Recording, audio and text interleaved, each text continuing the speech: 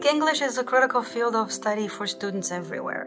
At our university, maybe particularly so, because we are so strong in technology and engineering and business, in the arts.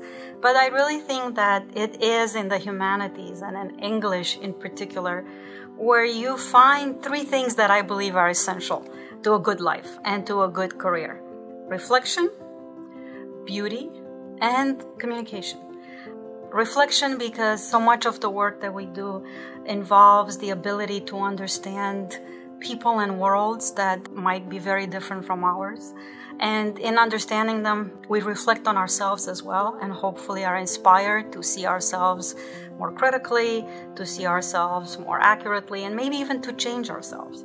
There's something unique about beauty in language arts, in professional environments. The ability to communicate effectively has now become one of the most in demand skills. And it's especially in demand for someone who already has other skills like statistical analysis or experience with certain kinds of technologies. Communication is a key skill Sometimes it's called a soft skill. There's nothing soft about it. It's actually quite hard, and we are very good at teaching it and researching it. We are very unusual for an English department in the best way possible. Come see us. We are very old as the uh, field goes because we have some of the oldest majors that were created in this country in creative writing and professional writing.